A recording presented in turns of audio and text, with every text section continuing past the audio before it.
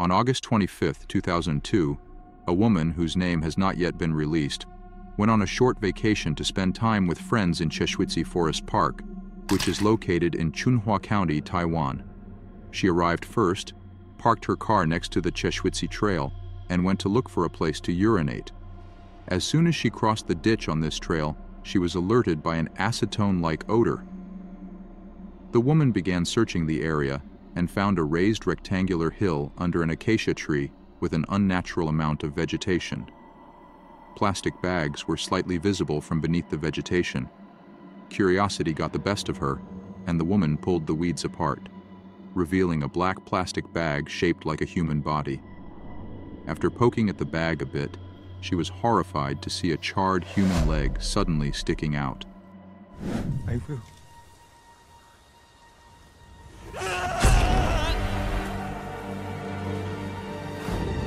Soon after, the police arrived along with pathologists and forensic experts, launching an investigation. They searched the area for more evidence. Unfortunately, apart from a few more bags and branches under which the body was hidden, nothing more could be found. Four days later, on August 29th, the medical examiner who examined the body provided an autopsy report. Now, the body was that of a woman in her 40s, about 5'10". A large number of fibers were found on her body, indicating that she was clothed at the time of the arson. The death occurred approximately 20 days ago, i.e., between August 1st and 5. Despite the severe burns, it was possible to find suffocation marks on her neck, as well as a dissection of the inner thigh. But the most interesting thing is that a caustic liquid was poured on the face and fingers of the deceased to make it impossible to identify her. The medical examiner found traces of ethanol and neuroleptics in the victim's stomach. The combination of these two substances caused the woman to lose consciousness, after which she was set on fire. On one of her fingers was a plastic ring with a Buddhist symbol and the inscription, Star, in English. It was also determined that the victim had undergone breast augmentation surgery while alive. Investigators noticed that her implant weighed 240 grams, which was illegal and exceeded the 108 220 gram limit under Taiwanese law. Other gold jewelry, such as earrings, were also found. Because all the jewelry was in place, robbery as a motive for murder was ruled out immediately, as was suicide, since the woman wore Buddhist rings and her implant size exceeded the legal limit. The officers concluded that she was not Taiwanese and could most likely be from Southeast Asia, such as the Philippines, Malaysia, or Vietnam. And from this, it was a logical assumption that she could have been either a migrant worker or a foreign bride killed by her Taiwanese husband. Based on these findings, police checked thousands of registered foreign brides and laborers in Chunhua County, but none of the missing matched the description of the body. Officers expanded the search to countries in China, Japan, and Korea, but that also went nowhere. Only one woman from Tanzhuang matching the body description went missing in early August. The police printed out several flyers appealing to citizens about the lead. They investigated for six months, but no one contacted the police station with useful information during that time.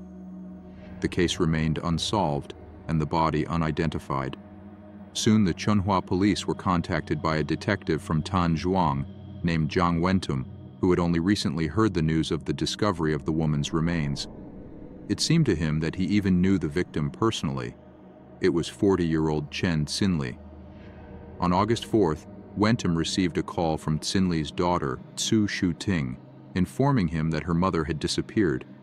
Who was her mother anyway? And under what circumstances did she suddenly disappear? Little is known about Chen Xinli's childhood and parents, as well as her place of birth. Only information about her life with her husband, 40-year-old Tsu Xinyan, has been found. So that you do not get confused in the names and surnames, I will say at once that the missing woman's name was Tsin Xinli and her husband was Qin Yan. I will continue to tell the story by name. So, Tsin Xinli and Xinyan met in Taichung, where they both worked in a steel factory after moving to that city. Their friendship quickly turned into a romantic relationship and they were soon married. After their marriage, they had three children, Tsu Shuting, Tsu Jin, and Tsu Wei.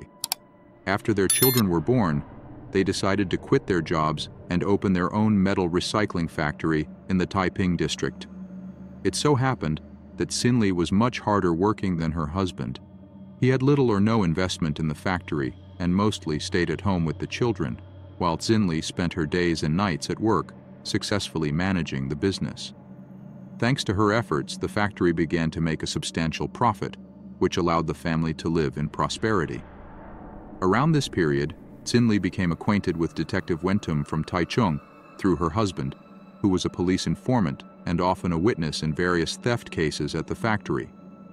When the family began to earn a good income, Sin Yan became even lazier. He started spending the profits on his whims, such as gambling, drinking, and even mistresses. These mistresses and their relatives would often show up at the factory, causing many problems for which the police had to be called in. Wentum, who by then had become almost a friend of the Tsu family, would often come to settle conflicts.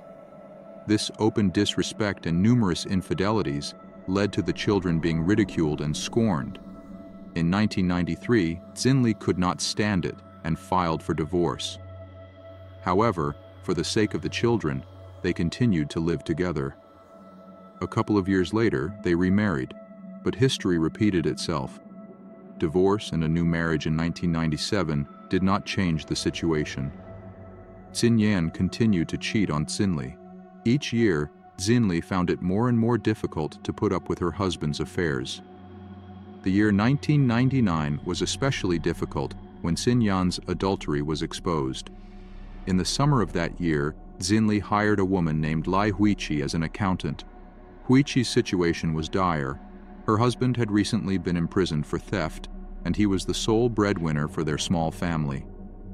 Xinli took pity on her and gave her a job in her factory. But instead of being grateful for this kindness, Huiqi became Qin Yan's next mistress. When the rumor reached Xinli's ears, she immediately fired Huiqi.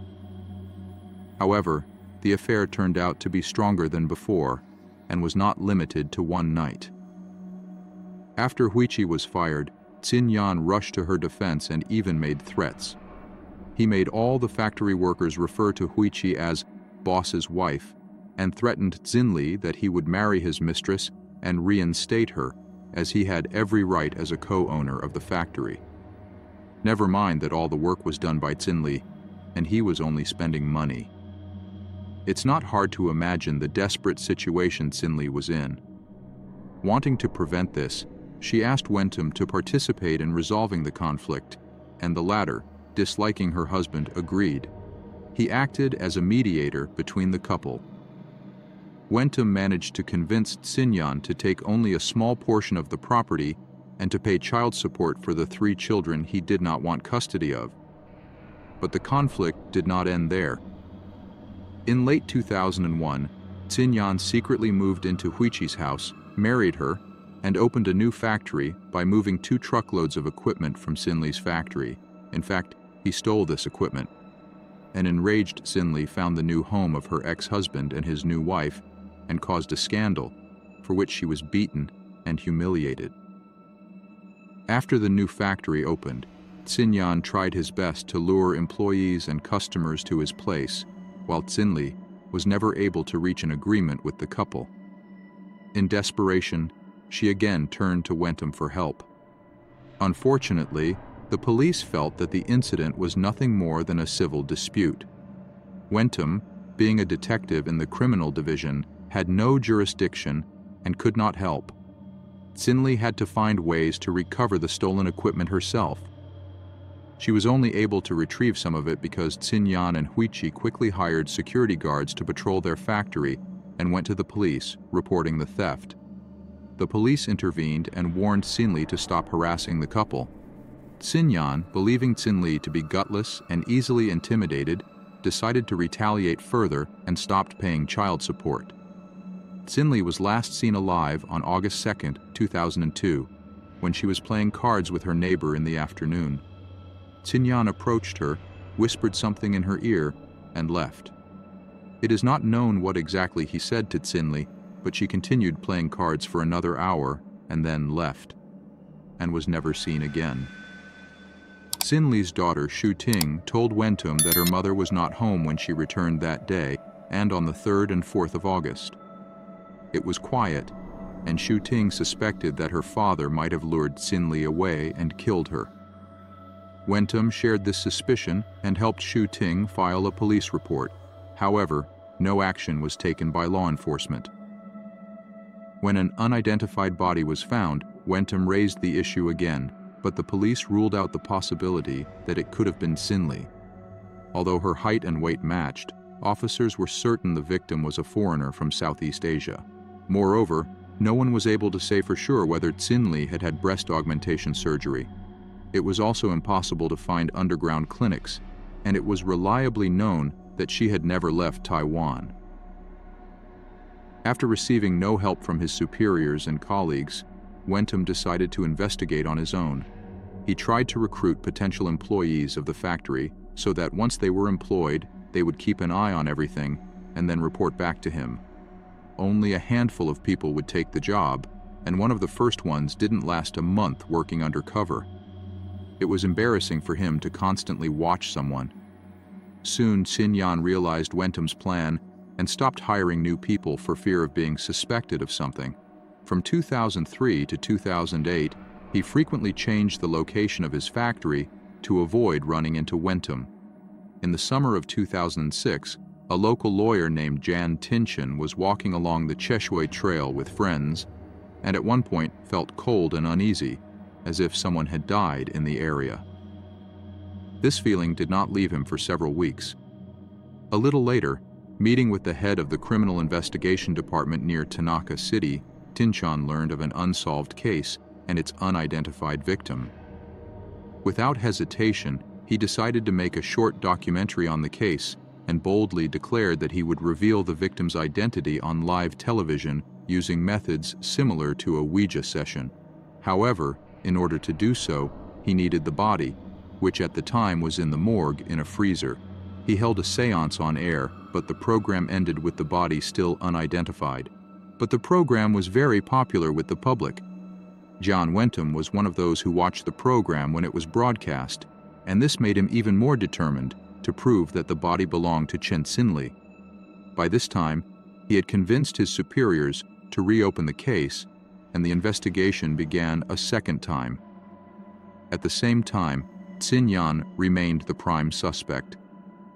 The police decided to do what Wentum had previously attempted and sent secret informants posing as potential hires to the factory.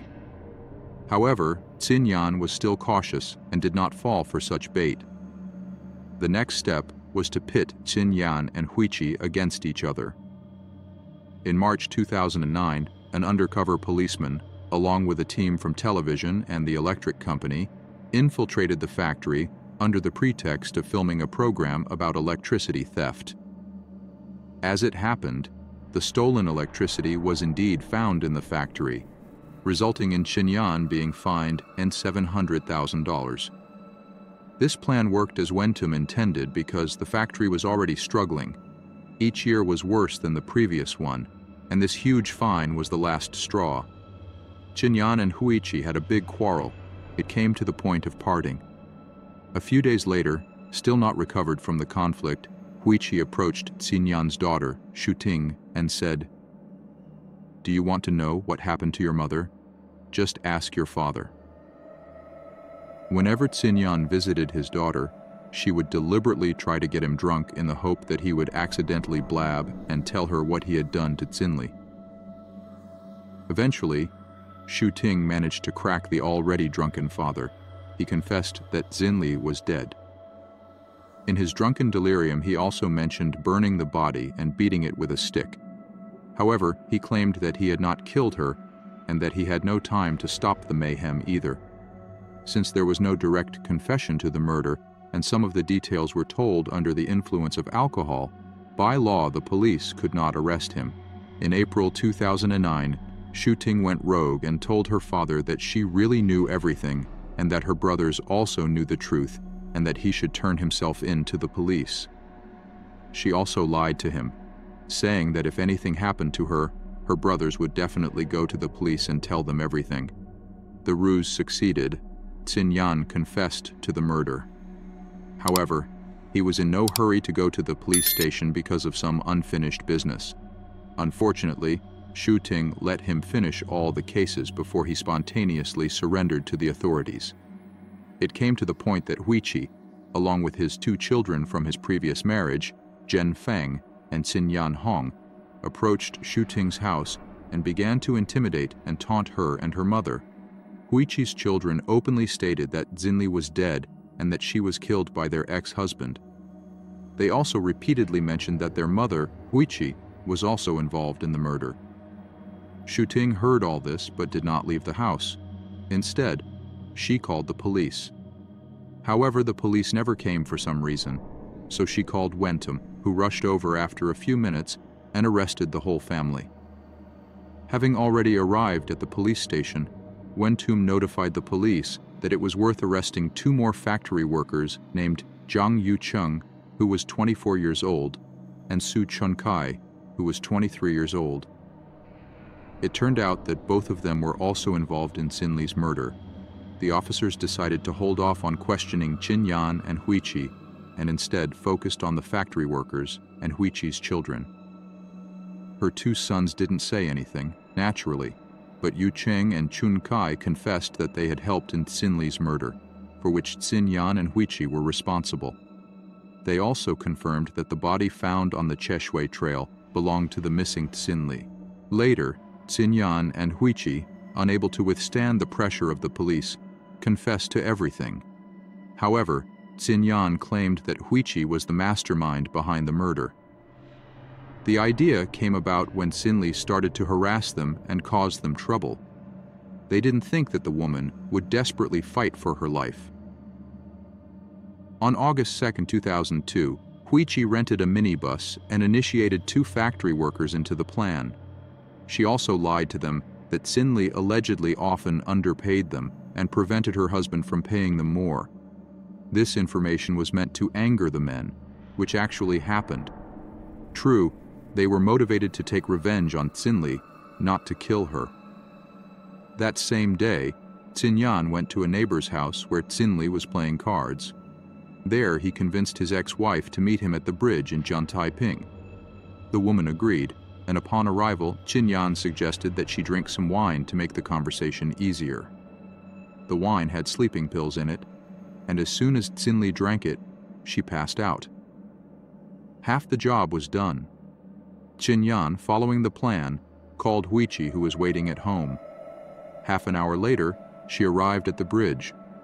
They loaded Xinli into the van and stopped by the factory where they picked up the tools they would later use to kill her. After that, they went to a rural mountain area and ordered their workers, Chu Ankai and Yu Qin, to strangle Xinli with a towel. However, the towel was too short, making it impossible to strangle her. Moreover, Xinli regained consciousness and began to resist.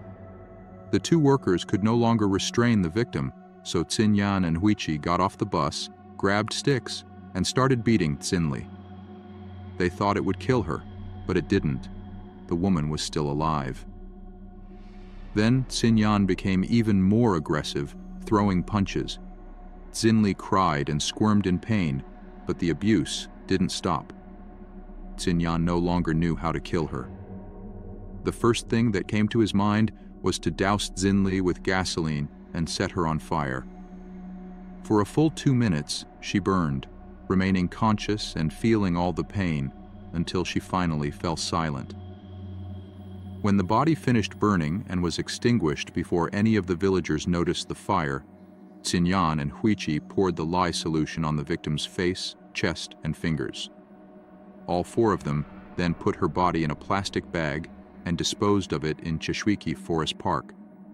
The next day, the killers also burned the clothes and the murder weapon, then went home and continued to live as if nothing had happened. On May 14, 2009, authorities exhumed the body and conducted a second autopsy to see if the injuries matched the details of the confession. The medical examiner observed blunt force trauma wounds on the victim's remains that the previous coroner had missed. The front of the victim's body was badly burned, and there were traces of smoke in the airways, confirming the killer's account that Sinli had been burned alive. All the details matched, and finally, DNA was taken from the body and compared to the DNA of Sinli's three children. The results matched, and the body was finally identified as Chen Sinli. The trial took place in Taiwan's Supreme Court, and both the court and the prosecutor did not believe any of the defendants when they tried to claim that only others were responsible. For example, Yu Chen and Chuan Xai claimed that they did not know the plan involved murder and were tricked into it. But the court rejected this claim. Huichi also claimed that she didn't know they were going to kill Sinli and only beat her with sticks under Qin Yan's coercion. Qin Yan himself accused Huichi several times of being the mastermind behind such brutality. He claimed that Sinli wanted to remarry him, and so he often quarreled with Huichi about it. None of the judges and prosecutors believed them. Of course, on November 18, 2010, all four were found guilty. Workers Yu Chen and Chun Kai each received eight years imprisonment. Huichi was sentenced to 18 years in prison. Qin Yan Yang received the highest sentence, life imprisonment without parole. As the court felt that he was the one who came up with the idea to kill his ex-wife and inspired others to take part in the brutality. The case became a sensation in Taiwan and caused public outrage. The people were furious at the abysmal performance of the Changhua police, who failed to solve the case and identify the victim. The forensic examiner failed to notice obvious wounds and traces of smoke in the victim's lungs. Taichung police were also heavily criticized for how long it took them to recognize that the body was Tsinli's. Many attribute the solving of the case solely to Jian Wentung. It is believed that if it wasn't for him, Chen Tsinli would still be unidentified, and her murder would have remained unsolved. Thanks for watching, friends. What do you think about this story? Share your thoughts in the comments. I'm always interested in your opinions. Subscribe to my channel, there's much more to come. See you next time.